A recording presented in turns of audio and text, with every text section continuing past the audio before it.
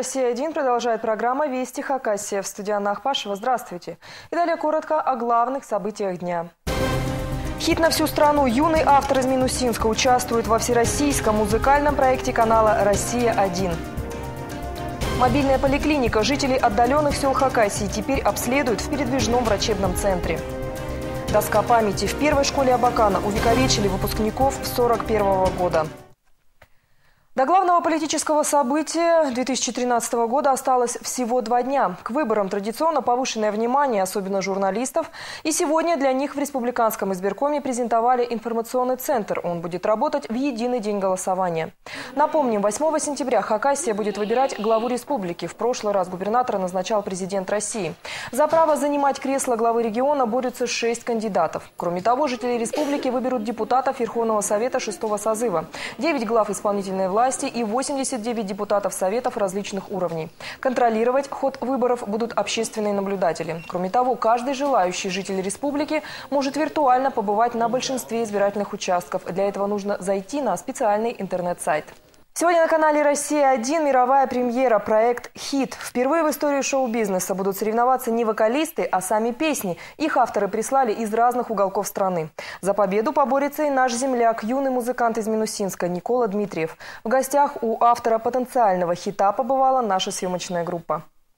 С музыкой на «ты» Никола с раннего детства. Родители шутят, что петь он научился раньше, чем говорить. В свои 13 лет юноша сочинил более 70 музыкальных композиций. На конкурс он отправил песню на стихи своей мамы. Действительно, это уникальное событие, когда э, звезды сами ищут песни. Обычно люди показывают свой голос, а тут люди показывают именно свои песни. Самые лучшие песни шоу «Хит» прозвучат в исполнении звезд нашей эстрады. Артисты всегда мечтают открыть для себя нового автора. Николай Басков, Валерий, Сергей Лазарев, Ани Лорак, Мали и многие другие. Все они надеются найти свой хит и завоевать с ним победу. Кому из них попадет наша песня, это имеет большое значение, потому что тембр у всех разный, манера исполнения у всех разная. Но эту песню, наверное, нельзя прокричать, опять же. Поэтому очень много должно совпасть. Уже сам факт, что песню Николы Дмитриева выбрали для участия в проекте своего рода победа. Анкеты на кастинг шли со всех концов России. Всего 20 тысяч вариантов. Жюри для участия в программе «Хит» отобрали 30 самых талантливых авторов. Наверное, самым интересным получается пока этот проект, потому что я на нем значительно вырос как композитор. И я не знаю, конечно, почему, но почему-то значительно вырос, в том числе и как исполнитель. Проект «Хит» будет выходить в эфир по пятницам в 21.00. В каждой программе участвуют шесть авторов. В финал выйдут только двое. Поддержать понравившуюся песню просто. СМС-голосование будет идти в течение следующей после эфира недели. Именно зрители будут выбирать, какая песня продолжит борьбу в финале и кто из авторов станет открытием года. Сегодня в первый рейс отправился мобильный диагностический центр для проведения диспансеризации сельского населения. По программе модернизации здравоохранения Хакасия приобрела две мини-поликлиники на колесах за 17 миллионов рублей. Второй медицинский автобус займется в селах диспансеризацией детей. Первый пункт назначения – Устебаканский район, село Солнечное. Диагностический центр смонтирован на базе автобуса ПАС. Салон полностью переоборудован под врачебные кабинеты. В одном из них разместилась лаборатория. Современное оборудование позволяет делать все основные анализы, в том числе и биохимическое исследование крови.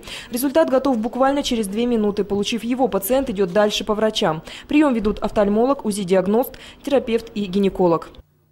Не каждый у нас в Солнечном имеет транспорт, чтобы вот так вот тут свободно сесть и поехать на, на анализы. В общем, мы довольны. Доска памяти учеников, ставших героями, появилась в Абаканской школе номер один. Речь идет о выпуске 41 -го года. В числе 56 ребят сразу после выпускного ушедших на фронт был и Леонид Козласов.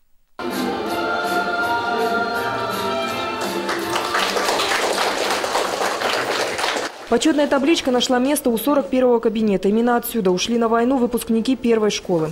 Ставший позже известным историком и археологом Леонид Козласов попал в танковые войска. Его родственникам два раза приходила похоронка с фронта, но все же Козласов вернулся живым. Из 56 выпускников первой школы 41 -го года с войны пришли 37 человек. На открытие доски была приглашена родная сестра Леонида Козласова. В то время мы, мы, ну я себя считаю тоже недалеко, потому что я брата на три года младше. Дело в том, что мы в то время не думали о материальных таких благах, роскоши. Мы не думали, мы думали о родине, мы были патриотами.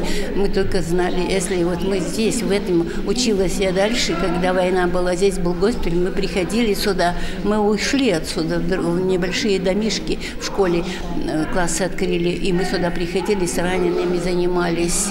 И прежде чем попрощаться, напоминаем, завтра в Хакасии день тишины, запрещена любая агитация, а в воскресенье состоится голосование. О том, как оно проходит, мы будем информировать в прямом эфире. Смотрите наш специальный выпуск в 14 часов 20 минут в воскресенье. Увидимся.